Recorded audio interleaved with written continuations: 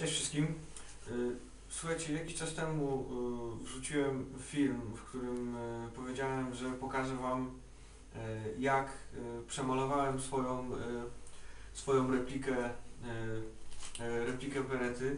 Niestety miałem z tym, z tym więcej, więcej problemów niż, niż na początku niż na początku myślałem, że, mm, że będę miał i nie, nie byłem w stanie nagrać tych filmów po kolei. Miałem, było trochę komplikacji, musiałem kupić nową farbę, bo, bo ta, którą kupiłem była, była nie taka źle, źle kryła i, i po prostu musiałem to wszystko zrobić jeszcze raz, więc y, chciałbym pokazać Wam jak to wyszło, y, wyszło na, na końcu. Jaki jest, jaki jest efekt, y, efekt finalny y, tego, co zrobiłem. A ponieważ samo mówienie o, y, o malowaniu może trwałoby no, ze 2-3 minuty albo nawet, nawet kilka, kilkanaście sekund, wystarczyło pokazać to, to chciałbym powtórzyć y, całą, y, całą recenzję tego, tej repliki w oparciu o wiedzę, którą zdobyłem y, od czasu zrobienia pierwszego y, filmu, o wiedzę na temat na temat replik i ogólną wiedzę na temat posługiwania się e, posługiwania się bronią, więc zaczniemy od tego. Cała replika wygląda teraz tak. Jest dwukolorowa, jest czarno-zielona, tak jak widzicie. Z tego co widzę, to na tym wyświetlaczu ten zielony kolor wygląda na jaśniejszy niż jest w rzeczywistości, ale to chyba normalne. Całość jest pomalowana dwoma e, rodzajami farby. Ta farba na początku była farbą połyskliwą, pomalowałem ją na, na wierzchu e, matowym lakierem. Suwadło jest, jest w czarnym macie dla lekkiego przełamania tego, tego czarnego koloru. Bezpiecznik jest, jest również zielony. I lufa, lufa zewnętrzna jest, jest, jest zielona. Wygląda to, to w ten sposób. Nie wiem dlaczego, ale w tej kamerze wygląda to na dość trawiasty kolor, ale musicie mi uwierzyć, że jest on trochę ciemniejszy w rzeczywistości niż, niż widać to, yy, to w ten sposób. I wygląda to tak, mnie, mnie się podoba. Farba nie odpryskuje tak, tak łatwo jak, jak odpryskiwała oryginalnie. Niestety straciłem yy, oznaczenia, które tu były, ale stwierdziłem, że nie zależy mi na nich aż tak bardzo jak na, jak na w miarę porządnej powłoce lakierniczej. I jeżeli chodzi o, o malowanie, no to było, było trochę komplikacji. Yy, Rozłożyłem ją, ją na części. Na początku pominąłem mm, pewną część w środku, o której zapom zapomniałem po prostu wyjąć tych elementów. I i musiałem je wyjmować y, później, czyścić farby, bałem się, że coś uszkodzę, no i niestety nie, nie nagrałem tego, tego po kolei tak jak trzeba.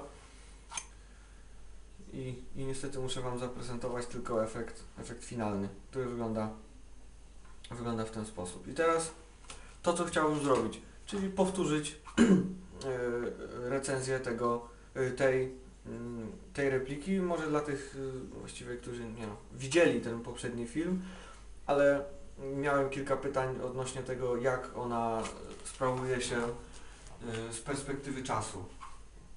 Otóż z perspektywy czasu sprawuje się, y, y, się bardzo dobrze. Nie ma żadnych usterek, y, żadnego zmęczenia materiału, żaden komponent nie został uszkodzony, osiągi są, są nadal tak jak, tak jak pierwotne, a może i i lepsze, bo byłem w stanie ją trochę podregulować. Jednak w, oryginalnym filmiku powiedziałem, że, że replika ma zablokowany hop-up.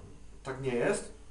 Nie zauważyłem tego od razu, bo ta, ta regulacja nie jest tak, tak oczywista jak w niektórych replikach, że, że po prostu zazwyczaj w tym miejscu gdzieś w, nie, w replikach znajduje się takie małe plastikowe kółeczko, tym kółeczkiem się, się kręci i reguluje się, się hop-up. W tej replice regulacja hop-upu odbywa się poprzez tą malutką śrubkę tutaj. Tu jest napisane, nie, nie jest, przepraszam, ale przez tą malutką śrubkę w prawo yy, chyba więcej hopapu, w lewo mniej hopapu z tego, z tego co pamiętam. A przy okazji tak wygląda zespół lufy, lufy wewnętrznej z komorą yy, hopap. Tu jest w, tą, w to miejsce zostaje załadowana kulka przez tą, przez tą rampę. Yy, z magazynka zostaje załadowana kulka do środka. Tak to, nawet tej, tej gumki hop-up nawet niespecjalnie widać. Ona składa się tak jakby z dwóch części. Yy, Nie będę teraz tego rozbierał, bo wierzcie mi, że jest to dość kłopotliwe. Yy, Gumka hop-upu tak jakby składa się, się z dwóch części. Lufa jest w tym miejscu, gdzie jest ta, ta śrubka, jest yy, zrobiony otwór. Yy, W nią wchodzi jedna część, yy, jedna część gumki, a druga część gumki to jest tak jakby uszczelka, która, która dociska lufę do, do komory hop-up. I tak się odbywa y, regulacja y, hop-upu. Ciężko było to, to zauważyć, a w instrukcji nie jest to, nie jest to opisane, że, y, że ta śrubka służy do, y, do regulacji hop-upu. Sporo ludzi, którzy mają tą replikę twierdzą, że ona ma zablokowany hop-up właśnie dlatego, że tego po prostu nie zauważyli. I ja też tego od razu nie zrobiłem. Y, y, Co dalej? Jeżeli chodzi o, o konsumpcję gazu, y, że tak powiem, o wydajność, to z jednego naładowania mm, magazynka możemy wystrzelać y, około półtora magazynka w porywach do dwóch. Czyli wystarczy raz załadować y, magazynek gazem i można wystrzelać podwójną jego, y, jego pojemność.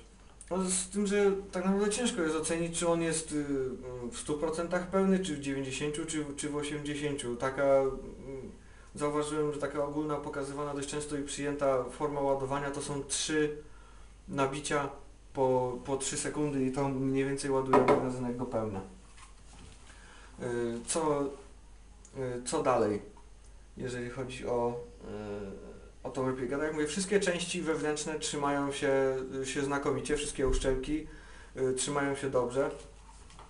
Y, Słuchajcie, klucz do tego, żeby y, repliki gazowe sprawowały się, y, się dobrze, to jest dbać o nie. Dlatego, że zasada działania i współdziałania części jest taka sama jak w broni palnej. To znaczy, to znaczy, że, że wszystko jest tak samo jak, jak, w prawdziwym, jak w prawdziwym pistolecie. Y, Gazy, w tym wypadku sprężony gaz, y, propan, powoduje taki sam ruch elementów jak w broni palnej. To znaczy odsunięcie suwadła, załadowanie kolejny, kolejnego naboju, wystrzał i, i powtórzenie, powtórzenie cyklu. Wszystko jest tak samo, więc analogicznie kluczem do, yy, do tego, żeby one działały jak należy jest dbać, czyścić, smarować i jeszcze raz dbać. Bo yy, wiele ludzi yy, pytało, jak to Ci się sprawuje, czy, czy nie ma problemów, bo, bo wszyscy narzekają, że wydmuchuje uszczelki yy, z magazynka, że, że pękają uszczelki zaworu tutaj w suwadle. Słuchajcie, to jest guma. Uszczelki są zrobione z gumy, a jeżeli o gumę się, się nie dba, to ona parcieje. Tak samo jest w samochodzie. Jak macie uszczelki yy, w samochodzie, yy, w zawieszeniu elementy gumowe, jeżeli się, się o nie nie dba i, i nie, nie, nie zabezpiecza się tego w żaden sposób, to guma parcieje. Chociaż może części zawieszenia to jest kiepski przykład, ale, ale ogólnie o gumowe elementy należy, należy dbać i smarować je odpowiednimi specyfikami, które nie powodują jeszcze bardziej parcienia t- tej gumy, bo to nie może być zwykły tawot chyba, z tego co się orientuję. W tym wypadku olej silikonowy jest, jest najlepszy, dlatego że on jest dość suchy. W momencie, kiedy, mm, kiedy on lekko odparuje, powierzchnia jest nasmarowana, jest ślizga, nie potrzeba, e, przepraszam, nie ma zbędnych tarć, ale nie jest, nie jest taka, że cały brud się, się do niej czepia. Tak jakbyście nasmarowali łańcuch rowerowy zwykłym, zwykłym smarem, takim technicznym wazeliną, to cały piach czepia się do tego, do tego łańcucha i niszczy nam, niszczy nam przerzutki. Tak samo jest tutaj. Trzeba smarować jak najbardziej suchym smarem i dbać. Jeszcze raz dbać, bo tak jak mówię, zasada działania jest taka sama jak w broni, jak w broni palnej i, i trzeba o to dbać i wtedy te repliki będą nam służyły bardzo dobrze i nie będą się psuły. I nie rozumiem y, takiego gadania, że bo gazówki się psują, że są skomplikowane. Y, co dalej? Jeżeli chodzi o samą, y, samą funkcjo, funkcjonalność, y, to mm, rzeczą, która podoba mi się najbardziej i, i którą zauważyłem, że trzeba zwracać sporą uwagę na to, żeby móc się swobodnie posługiwać repliką, to jest praca spustu. W tym wypadku spust, nie wiem czy to mój egzemplarz, ale jedyna rzecz, która mnie trochę martwi i na razie jeszcze nie wymyśliłem jak to naprawić, to lekki luz tego spustu na boki, ale to jest naprawdę 2, 2 mm. Ale o co chodzi? Chodzi o tak zwany reset spustu. Coś, co pozwala płynnie oddawać, oddawać kolejne strzały. Nie wiem, czy będziecie to widzieli, czy słyszeli. Kiedy naciśniemy spust i dojdzie do zwolnienia kurka, przez co do uwolnienia y, gazu y, przez zawór z magazynka, kiedy odpuszczamy spust, nie wiem czy było to słychać. To jest tak zwany reset, reset spustu i on jest dość wyraźny i pozwala nam to po, po wycelowaniu oddawać płynnie y, kolejne strzały bez, bez zrywania ich.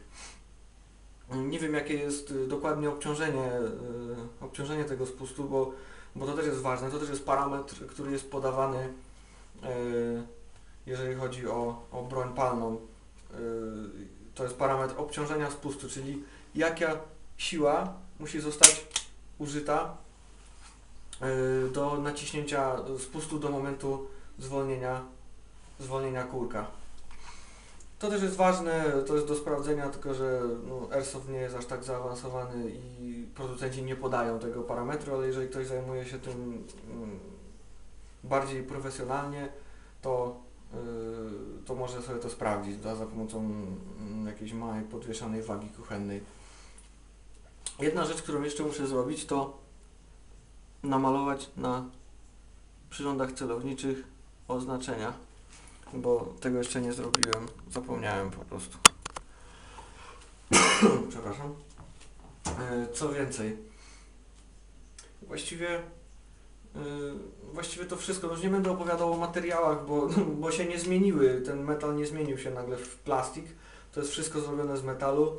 Jedyną rzeczą jaka jest plastikowa są okładziny, e, okładziny rękojeści. E, I to, to wszystko. Jeszcze jedna rzecz, nad którą musiałem popracować, to, to bezpiecznik.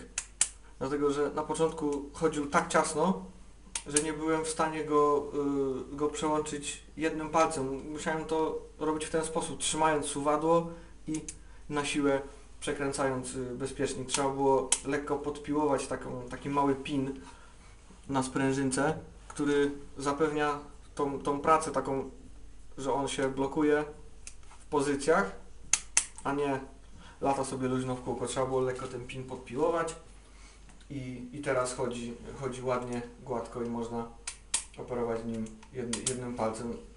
Yy, operowanie tym bezpiecznikiem z lewej strony jest, jest trochę mniej wygodne niż z prawej, ale ja jestem praworęczny, więc ten, ten mnie nie interesuje, ale to tak na, yy, na przyszłość. Nie wiem jak Wam się podoba ten kolor, mnie się, mnie się podoba bardzo. To by było właściwie, właściwie już, już wszystko, jeżeli, jeżeli chodzi o, o rewizytę, że tak powiem, tej, e, tej repliki. Mam nadzieję, że, że Wam się podobało i że przekonacie się, e, się do, e, do replik gazowych. Tym razem, tym, tymczasem zapraszam, tak jak zwykle, do komentarzy, do, do subskrypcji i dzięki i pozdrawiam.